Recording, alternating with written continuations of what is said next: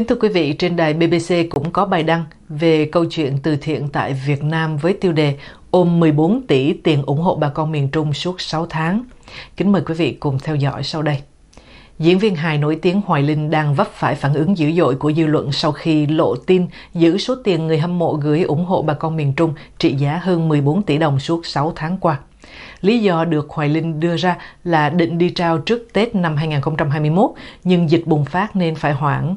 Sau đó định đi từ ngày 10 đến ngày 17 tháng 5, nhưng lại có dịch bùng phát nên phải hoãn tiếp Tôi là người của công chúng cần phải làm gương không thể tập trung đông người. Mọi người hãy tin tưởng vào sự minh bạch của tôi.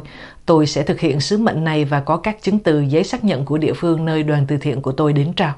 Bởi lẽ khi tiến hành đi trao số tiền này, tôi đều phải thông qua chính quyền địa phương và có sự xác nhận của địa phương khi tiếp nhận số tiền giúp đồng bào miền Trung khắc phục hậu quả sau thiên tai. Hoài Linh nói trong clip gửi một số cơ quan truyền thông Việt Nam. Tuy nhiên, Hoài Linh không nói vì sao lại không đề cập đến việc này suốt 6 tháng qua. Giải thích của danh hài dường như không thuyết phục được người hâm mộ. Nhiều ý kiến trái chiều, chủ yếu là chỉ trích, đã bùng lên trên các diễn đàn mạng xã hội. Mạng xã hội nói gì?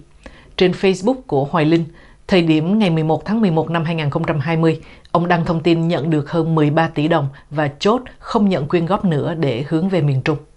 Mới đây, báo chí Việt Nam dẫn lời Hoài Linh rằng con số thực là hơn 14 tỷ đồng. Dưới bài đăng này là rất nhiều bình luận khen ngợi từ người hâm mộ. Tài khoản tên Mùa thu trái tim viết cảm ơn chú đã hướng về miền Trung ruột thịt và cả nước ta đặt niềm tin vào chú rất lớn. Chúc chú mạnh khỏe, gặp nhiều may mắn, luôn luôn thành công trong sự nghiệp của mình, người có trái tim thánh thiện của cả nhân loại. Nhưng mới đây đã thêm các bình luận trái chiều. Tài khoản Duyên Duyên đáp lại mùa thu trái tim rằng Rồi đến bây giờ người dân miền Trung đã có ai nhận được đồng nào chưa? Tài khoản Gia Gia thì viết trái tim thì ai cũng có, nhưng có một sự thật nghiệt ngã là đứng trước lợi ích tuyệt đối như vậy thì đố thằng nào không động tâm đấy. Nếu cho tôi một tỷ để bán danh dự thì chắc chắn tôi không bán đâu, nhưng mà 14 tỷ là tôi bán luôn ấy. Hay là đợi đến mùa lũ năm nay phát một thể, tiền lãi của 14 tỷ đó đến nay cũng không hề nhỏ đâu nhé. Đặng Trọng Tình thì viết rằng chung tay góp khi đồng bào nguy cấp cần thiết ngay lúc đấy để khắc phục khó khăn. Nếu bận không kham được thì đừng lên tiếng quên góp, ăn rồi thì mới im như thóc ấy. Cũng có vài tiếng nói lẻ loi ủng hộ như bạn Linh Tây. Linh Tây viết, chưa công khai là chưa sử dụng, có thể vì công việc bận chứ muốn ăn chặn thì đã sao kê ABC để lừa mấy đứa bay rồi. Sao cứ thấy sồn sồn vậy sau này ai dám đứng ra gọi từ thiện nữa. Để dư luận dịu xuống rồi sẽ có câu trả lời thôi. Bây giờ lên tiếng cũng có ai lọt lỗ tai đâu. Sau đợt gọi ủng hộ miền Trung xong là một loạt biến cố xảy ra. Người thân mất rồi đến anh em chí cốt là chú Chí Tài mất, công việc kinh doanh trầm hương vân vân. Nói chung là giờ cứ chờ câu trả lời chứ đoán mò gì cũng không có ích lợi. Ai tin thì tin, ai ủng hộ thì ủng hộ. Mình vẫn giữ quan điểm tin vậy thôi. Nhưng ý kiến của Linh Tây ngay lập tức bị làn sóng phản đối nhấn chìm. Lucas Trần đáp, Linh Tây, bạn nói chán thật, thế Thủy Tiên không bận gia đình, bận chồng con, bận ca hát, mà người ta còn lội nước tới tận nơi trao tiền cho bà con. Lúc đó nhà cửa mất, hoa màu, vật nuôi chết mới cần tiền để tái thiết cuộc sống. Giờ miền Trung nóng đến 40 độ C, đã nhận được đồng nào của Hoài Linh chưa? Nhật Huy thì viết, chắc chú mua đất hết rồi, 6 tháng trôi qua, nay đọc báo mới nhớ, chú thiệt tài tình, thiệt biết cách làm giàu đúng lúc. Facebook Hoàng Hải Vân chỉ viết, cứu trợ khẩn cấp nhưng ảnh nhận tiền nửa năm mà không mang đi phân phối. Ảnh không hề nghĩ người đói có chờ đến nửa năm mới được ăn không. Người bằng trời chiếu đất có chờ được đến nửa năm mới có chỗ ở không. Người không có sinh kế có chờ được đến nửa năm mới được sinh sống không. Người bệnh tật có chờ được đến nửa năm mới được chữa bệnh không. Nhiều người so sánh Hoài Linh với ca sĩ Thủy Tiên. Cũng dịch bùng phát, nhưng Thủy Tiên đã kịp cho xây gần xong 10 nhà chống lũ cho bà con ở Hà Tĩnh và mới đây đã công khai hình ảnh lên trang Facebook cá nhân.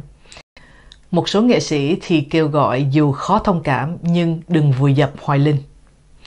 Theo dõi trên Facebook chính thức của Hoài Linh thì thấy trong 6 tháng qua, danh hài chủ yếu cập nhật thông tin về việc bận rộn dựng kênh YouTube và TikTok riêng của mình. Trước đó, tháng 12 năm 2020, Hoài Linh bận đứng ra tổ chức tang lễ cho nghệ sĩ Chí Tài và giúp đưa thi hài đồng nghiệp về Mỹ. Xét về khía cạnh pháp lý, Vậy danh hài Hoài Linh có vi phạm pháp luật hay không? Và cần phải làm gì để chấn chỉnh những sự việc tương tự trong tương lai cũng như là vấn đề dư luận đang quan tâm? Ông Nguyễn Quang Đồng, chuyên gia chính sách công nói với báo Tuổi Trẻ rằng việc này cho thấy sự thiếu chuyên nghiệp trong hoạt động cứu trợ.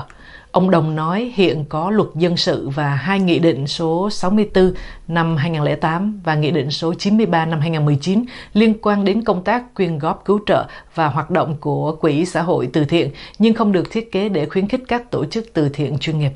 Do đó, điều cần thiết là xây dựng một bộ luật để bảo vệ lợi ích của người đóng góp và cũng là giúp bảo vệ uy tín của nghệ sĩ làm từ thiện.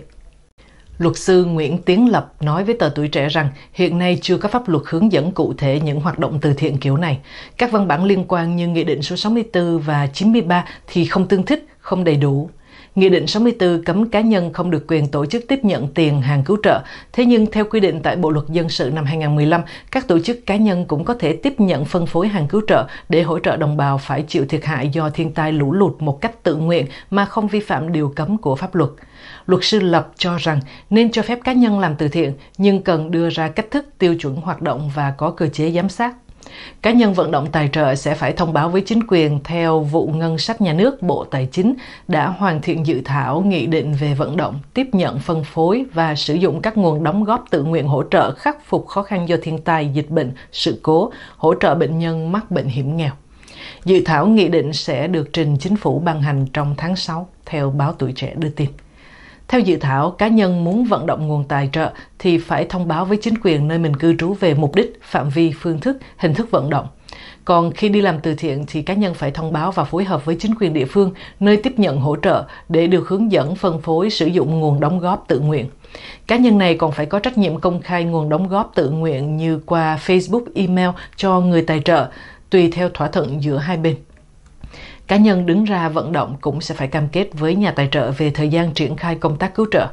Địa phương tiếp nhận tài trợ cũng phải có quy định thời gian tiếp nhận khoản tài trợ đến khi nào.